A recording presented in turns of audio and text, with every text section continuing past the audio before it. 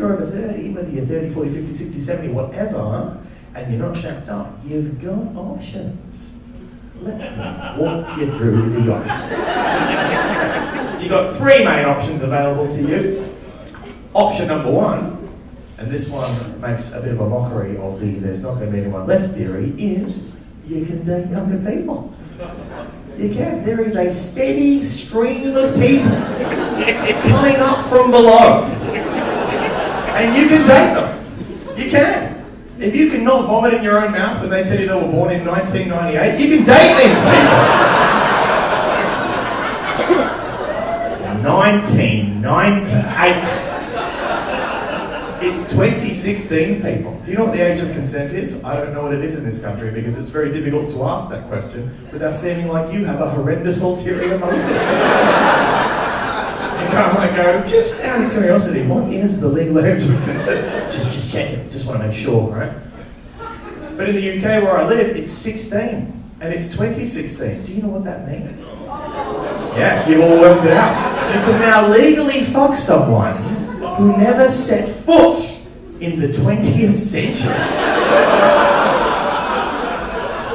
You tell them you want to party like it's 1999, they've got no fucking idea what you're talking about.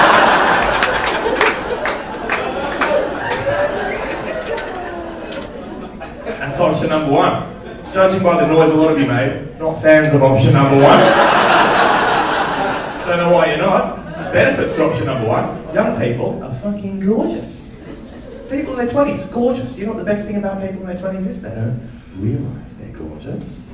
Makes it easy to catch them.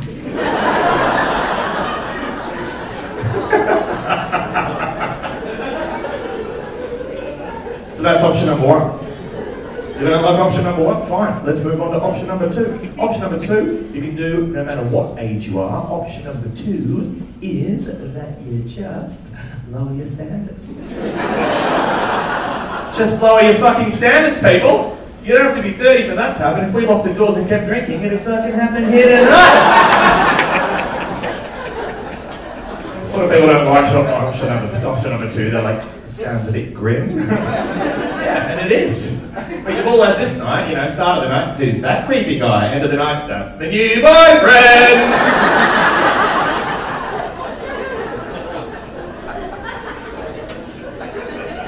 that's option number two.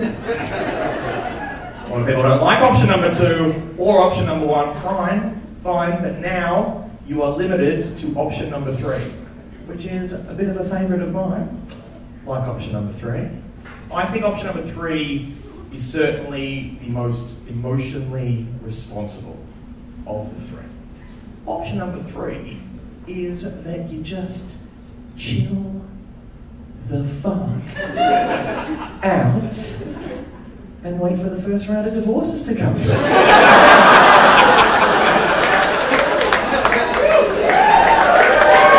Wait it out.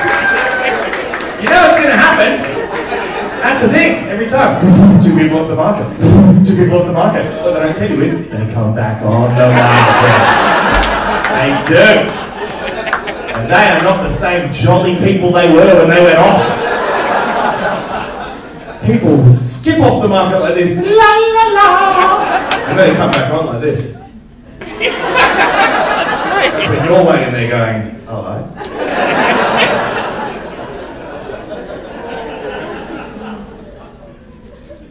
He did what to you?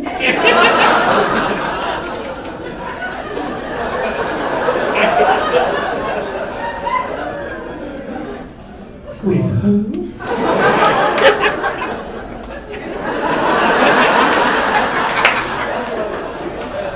Come in. oh, gosh. You can pick up previously out of your league people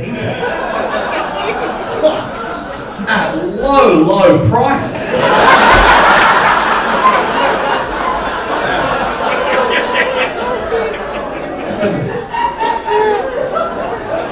Like her. There's some dents in the side, but a Porsche is still a Porsche, people.